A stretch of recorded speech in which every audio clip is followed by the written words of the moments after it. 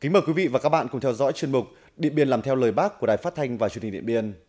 Thưa quý vị và các bạn, xác định việc học tập và làm theo tư tưởng, đạo đức, phong cách Hồ Chí Minh là việc làm thường xuyên. Thời gian qua, Đảng ủy Ban Chỉ huy Quân sự huyện Điện Biên đã chú trọng tổ chức cho cán bộ, chiến sĩ học tập và làm theo Bác bằng những việc làm cụ thể gắn với các phong trào thi đua. Qua đó đã góp phần xây dựng lực lượng vũ trang địa phương chính quy vững mạnh toàn diện.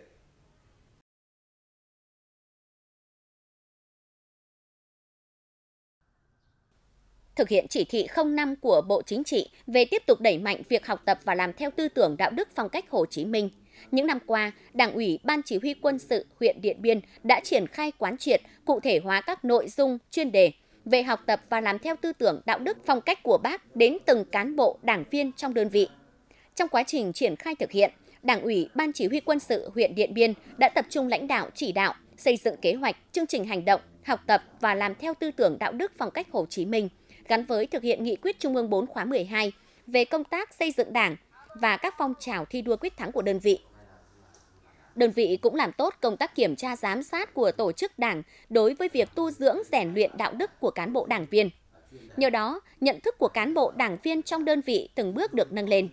Đội ngũ cán bộ lãnh đạo phát huy tính tiên phong gương mẫu, đi đầu trong việc thực hiện các chuẩn mực đạo đức gắn với chức trách nhiệm vụ được phân công đảng viên, chiến sĩ trong đơn vị có nhận thức, hành động gương mẫu trong cuộc sống, sinh hoạt và trách nhiệm trong thực hiện nhiệm vụ được giao. Và khi là có kế hoạch của cấp trên và của Bộ Y tỉnh và huyện ủy là triển khai thực hiện từ là chuyên đề hàng năm là tư tưởng phỏng đạo đức phong cách Hồ Chí Minh, Đảng ủy đã xây dựng kế hoạch triển khai các chi bộ, xây dựng kế hoạch và triển khai cho các đảng viên trong chi bộ đều xác mỗi cán cán bộ đảng viên đều có một kế hoạch cá nhân để xác định với công việc của bản thân mình và với nội dung của tư tưởng đạo đức phong cách Hồ Chí Minh phù hợp thực tế của từng bộ phận và từng ban một trong đơn vị. À, từ kết quả đó là đơn vị đã xây dựng kế hoạch quân sự quốc phòng địa phương hàng năm đã triển khai cho các cơ sở như là cơ sở dân quân các xã đã huấn luyện dân quân kết hợp với làm công tác dân vận. Trên cơ sở đó là các cán bộ, đảng viên, chiến sĩ trong lực lượng vũ trang huyện Điện Biên đã trong đã, đã xác định tốt cái nội dung này và từ trên cơ sở đó đã hoàn thành tốt nhiệm vụ giao. Đặc biệt là năm 2023 tất cả cán bộ đảng viên 100 trăm hoàn thành tốt xuất sắc nhiệm vụ và năm được là quân khu tặng là đơn vị quyết thắng năm 2023 để học tập và làm theo bác ngày càng thiết thực hiệu quả, tạo sức lan tỏa trong đơn vị. Hàng năm, mỗi đảng viên trong đơn vị đều chủ động xây dựng chương trình hành động cá nhân và ký bản cam kết học tập làm theo bác gắn với chức trách nhiệm vụ được giao. Qua học tập sinh hoạt, cán bộ đảng viên có nhận thức đúng đắn, kiên định vững vàng, tự giác tu dưỡng về đạo đức, lối sống, nghiêm chỉnh chấp hành chủ trương đường lối của Đảng, chính sách pháp luật của nhà nước, đồng thời đã tạo được nhiều chuyển biến tích cực trong nhận thức tư tưởng, đạo đức lối sống của cán bộ đảng viên, nâng cao tinh thần trách nhiệm với công việc, tác phong làm việc được rèn luyện, khoa học, hiệu quả. Cái nội dung này là chúng tôi đã có cái cái cái cái cái đổi mới bằng cái phương pháp là từng cá nhân phải đăng ký và hàng tháng. Và cho đó do đó thì cái uh, kết quả học tập và làm theo tư tưởng đạo đức phong cách của bác hồ là nó có cái chuyển biến tích cực. Cái cái cái đấy là một cái đổi mới. Cái thứ hai ấy là chúng tôi có những cái hoạt động khác đó là có những cái um, uh, tổ chức lồng ghép trong các cái hội thi hội thao. Như năm 2023 đấy là có tổ chức cái hội thi về cán bộ giảng dạy chính trị giỏi. Tổ chức ở huyện là tổ chức cho các đồng chí chính ủy viên chính viên phó ở ban chỉ huy xã là thi và các đồng chí cán bộ ở ban chỉ huy sự huyện nữa. Thi thì có lồng ghép những nội dung đó về cái học tập và làm theo tư tưởng đạo đức phong cách của bác hồ đấy vào để, tiến hành trong cái cuộc thi các hội thi hội thao. Và hai nữa là trong cái hoạt động à, hàng ngày thì à, chúng tôi là có đều là là là có cái truy trao ấy truy trao trao đổi. Tức là trong giao ban này trong uh, hội ý này thì uh, đều có những cái cái cái cái nội dung là gần như là kiểm tra đột xuất. Nhờ triển khai và thực hiện tốt chỉ thị số 05 của Bộ Chính trị về tiếp tục đẩy mạnh, học tập và làm theo tư tưởng đạo đức phong cách Hồ Chí Minh, cụ thể thiết thực, gắn với các phong trào thi đua quyết thắng, đã tạo động lực thúc đẩy phong trào thi đua, như thực hiện tốt chính sách hậu phương quân đội, tổ chức huấn luyện, diễn tập chiến đấu phòng thủ, phòng chống cháy rừng, phòng chống lụt bão, thiên tai, tìm kiếm cứu nạn cứu hộ. Lực lượng dân quân xã thì ờ, qua các cái ờ, năm huấn luyện Ờ, cũng như nhận thức về chính trị thì ờ, để đáp ứng ờ, trong các cái tình huống xảy ra thì lực lượng dân quân xã đảm bảo về số lượng cũng như khả năng tác chiến trong các cái tình huống xảy ra. Bên cạnh đó, thực hiện đột phá về nâng cao chất lượng huấn luyện, Ban Chỉ huy quân sự huyện Điện Biên đã xây dựng kế hoạch cụ thể, thực hiện tốt phương châm, huấn luyện cơ bản, thiết thực vững chắc, đổi mới nâng cao chất lượng huấn luyện, luyện tập theo phương án tác chiến trong khu vực phòng thủ. Thường xuyên đổi mới và có các sáng kiến cải tiến trong thực hiện nhiệm vụ huấn luyện sẵn sàng chiến đấu, được các cấp ghi nhận. Tiêu biểu như giá bắn súng bộ binh, máy điểm hỏa, thiết bị bắn ban đêm của súng bộ binh. Đơn vị cũng chủ động xây dựng kế hoạch, luyện tập thành thục các phương án, chuẩn bị đầy đủ lực lượng, phương tiện, vũ khí, trang bị cho các nhiệm vụ. Cán bộ chiến sĩ trong đơn vị cũng thực hiện nghiêm túc chế độ trực ban, trực chiến, bảo vệ 24 trên 24 giờ vào các dịp lễ Tết, sự kiện chính trị quan trọng của địa phương. Quán triệt cái mệnh lệnh sẵn sàng chiến đấu của tư lệnh quân khu và chỉ thị sẵn sàng chiến đấu bảo vệ Tết Nguyên đán năm 2024 à, thì à, ban chỉ huy quân sự huyện đã xây dựng các phương án sẵn sàng chiến đấu và tổ chức luyện tập thành thạo các phương án chiến đấu đã được xác định. À, năm nay chúng tôi ờ, từ cái tình hình an ninh trị của địa bàn và cái nhiệm vụ trực sẵn sàng chiến đấu của bảo vệ Tết thì chúng tôi tổ chức luyện tập sẵn sàng chiến đấu. Thời gian luyện tập theo thứ sáu hàng tuần và các khoảng 7 giờ hàng ngày và luyện tập sẵn sàng chiến đấu theo các phương án bảo vệ cơ quan đơn vị như như các mục tiêu đã được giao nên ờ, trong cái thời điểm cao điểm chúng ta luyện tập thì chúng tôi đã tổ chức luyện tập ngay từ tháng 12 sau khi được tập huấn cán bộ của Bộ Chỉ huy tỉnh về chúng tôi đã tổ chức luyện tập thường xuyên các phương án sẵn sàng chiến đấu trong ngày cũng như là trong tuần và trong tháng bảo đảm chặt chẽ và thống nhất theo đúng kế hoạch của trên và Bộ Chỉ huy quân sự tỉnh giao. Việc triển khai và thực hiện tốt chỉ thị số 05 của Bộ Chính trị về tiếp tục đẩy mạnh, học tập và làm theo tư tưởng đạo đức phong cách Hồ Chí Minh, còn được đơn vị gắn với thực hiện có hiệu quả các phong trào, quân đội chung sức, xây dựng nông thôn mới, nâng bước em tới trường, giúp nhân dân làm đường giao thông nông thôn, sửa chữa và làm mới hệ thống thủy lợi nội đồng, tham gia giữ gìn vệ sinh môi trường, hỗ trợ xây dựng nhà ở, gia đình chiến sĩ, dân quân tự vệ có hoàn cảnh khó khăn trên địa bàn. Ban chỉ huy quân sự huyện thường xuyên quan tâm chăm lo đối với chính sách hậu phương quân đội là gia đình vợ con của quân nhân. Thế hiện nay thì à, trong thời gian qua là không có nhà ở thì chúng tôi đảng ủy là cũng, cũng phát động phong trào xã hội hóa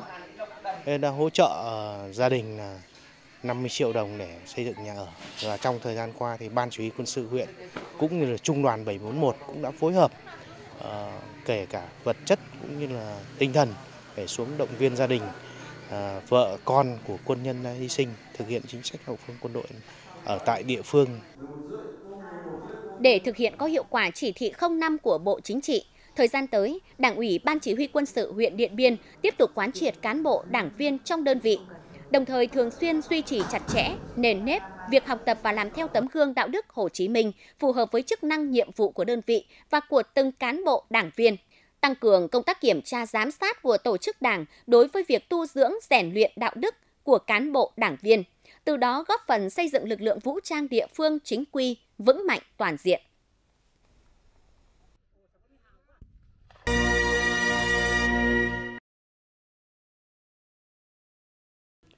Thưa quý vị và các bạn, luôn gần gũi với nhân dân, nhiệt tình tâm huyết trong công việc, đầu tàu trong việc thực hiện chủ trương đường lối của Đảng, chính sách pháp luật của nhà nước – và khéo léo trong công tác tuyên truyền vận động để người dân tin, hiểu và làm theo. Đó là nhận xét của nhiều cán bộ người dân khi nhắc tới ông Điêu Bình Dương, bí thư đảng ủy xã Phìn Hồ, huyện Ấp Pồ, một người bí thư hết lòng vì dân bản.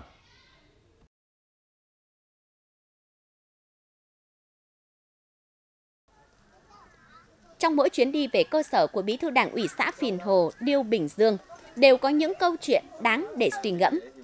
Đây là gia đình chị Sùng Thị Sú, bản Phìn Hồ, trường hợp được anh Dương và các tổ chức đoàn thể tuyên truyền, vận động và thường xuyên giúp đỡ khi khó khăn hoạn nạn. Năm 2022, con trai chị Sú bị các vết loét ở chân. Nhưng do quan niệm lạc hậu nên gia đình không cho con đi chạy chữa tại các cơ sở y tế mà để ở nhà bó lá dân tộc. Trong chuyến đi cơ sở, biết đến hoàn cảnh này, anh Dương đã cùng cán bộ y tế, các tổ chức đoàn thể tuyên truyền vận động thuyết phục gia đình đưa con đến cơ sở y tế để thăm khám điều trị. Anh còn trực tiếp mua thuốc điều trị tại Hà Nội, hỗ trợ để gia đình chạy chữa cho cháu nhanh khỏi bệnh.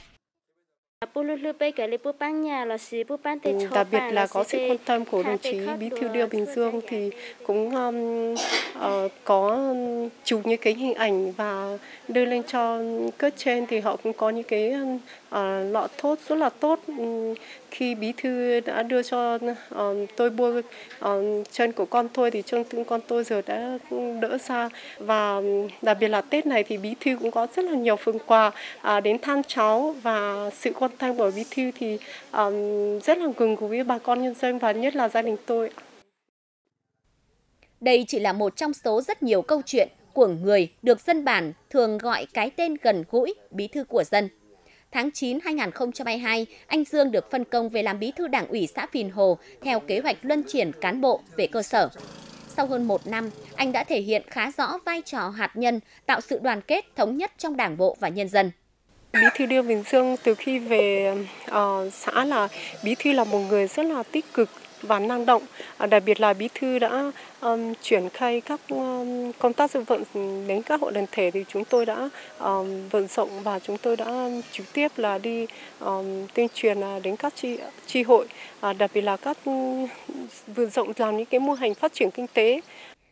Trên cương vị bí thư đảng ủy của một xã biên giới, anh Dương đã nỗ lực hết mình trong việc lãnh đạo chỉ đạo, thực hiện nhiệm vụ phát triển kinh tế xã hội, củng cố quốc phòng an ninh, thực hiện các dự án mới hỗ trợ sản xuất, đến kêu gọi các tổ chức thiện nguyện với các chương trình hướng về đồng bào nghèo để giúp người dân có đời sống ấm no hơn.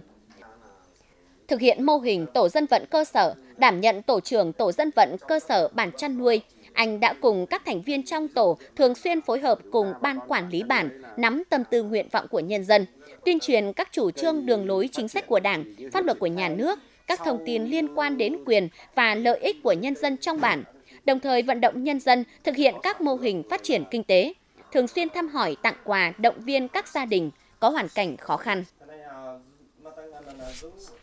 Xác định rằng là công tác dân vận là của cả một hệ thống chính trị để làm sao mà cán bộ mỗi một cán bộ đảng viên à, thường xuyên à, xuống đến cơ sở à, vận động, tuyên truyền để bà con nắm được những cái chủ trương đồng thời cũng như là nghiên cứu, tìm hiểu ra những cái mô hình chăn nuôi trồng trọt gần gũi để giúp cho bà con tăng gia sản xuất đem lại cái thu nhập từ đó sẽ góp phần à, xóa đói à, giảm nghèo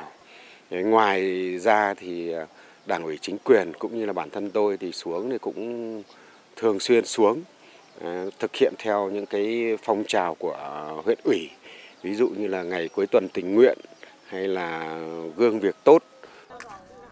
Hơn một năm công tác tại xã Phìn Hồ, anh Dương đã kết nối với các tổ chức cá nhân, các nhóm thiện nguyện triển khai nhiều chương trình giúp đỡ người dân và các em học sinh trên địa bàn như chương trình thắp sáng đường quê, làm giếng khoan cho các điểm trường mầm non và các điểm bản, xóa nhà rột nát cho người dân,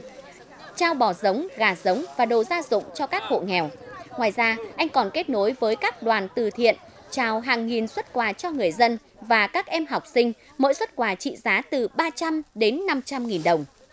Trong cuộc thi dân vận khéo do huyện Nậm Pồ tổ chức, xã Phìn Hồ, nơi anh đứng đầu phụ trách, đã đoạt giải nhất Cá nhân anh cũng đoạt giải nhất hội thi Bí thư tri bộ, Đảng bộ giỏi và được Ủy ban nhân dân huyện Nậm Pồ khen thưởng vì có thành tích điển hình tiêu biểu trong thực hiện nhiệm vụ tổ dân vận cơ sở trên địa bàn huyện. Những ghi nhận đó là động lực thôi thúc anh tiếp tục cống hiến mỗi ngày vì sự no ấm của dân bản. Và thông tin vừa rồi cũng đã kết thúc chuyên mục Điện Biên làm theo lời bác của Đài Phát thanh và Truyền hình Điện Biên. Cảm ơn quý vị đã quan tâm theo dõi. Xin kính chào và hẹn gặp lại.